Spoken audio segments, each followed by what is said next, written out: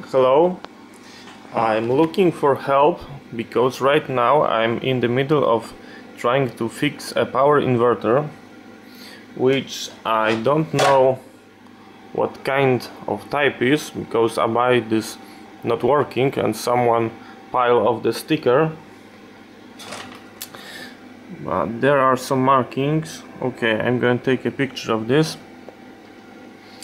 So what I did first of all when I powered this up on 24 volts because I believe that's a 24 volts inverter because I did the calculation of the fuses and there is a 800 watts continuous power so it must be at 24 volts because the fuses won't be too low on 12 volt system. So that's what I managed to find out and the fan are also at 24 volts so yeah it looks like 24 volt system. By adjusting this part right here I managed to set the PWM on the primary stage. I've got a high voltage on the output and I managed to get the inverter running so this is a pure sine wave inverter as you can see on the scope. It looks very good. 230 volts. I can switch very small load on this. And everything working perfect. I use the CFL because I don't have a heatsink because I have to open this. So what's the problem? So as you can see it's working perfect. So this is a 24 volt system. So if we go to the 24 volt everything is fine. It's working perfect. And we are discharging the battery. So basically we are lowering the voltage. And right now it should be turned off to prevent discharging the battery too much. So we're going lower lower lower. And the battery would be destroyed lead acid. In that case we're going lower lower lower. And the voltage is too low cut off but still the primary side is working and creating the high voltage on this side because there is a current. So lower lower lower. And we've got an alarm. And there is beeper.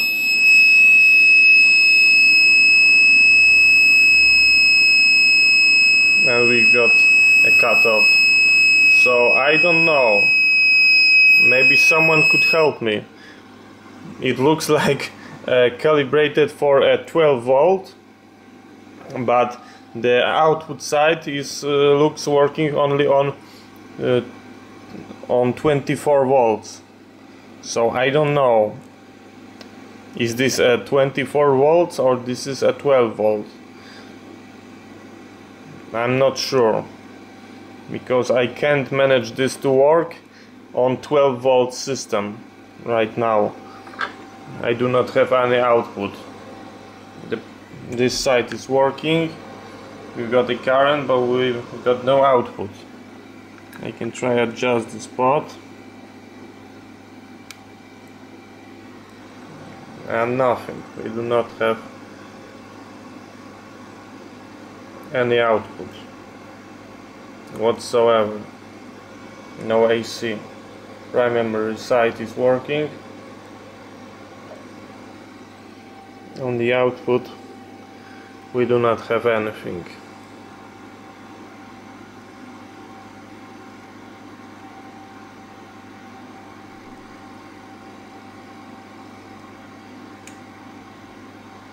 Nothing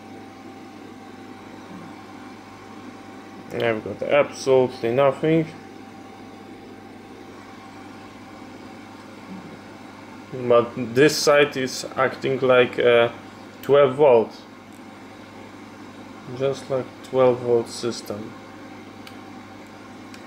Why? Because when we go lower we've got an now alarm and we've got a cutoff.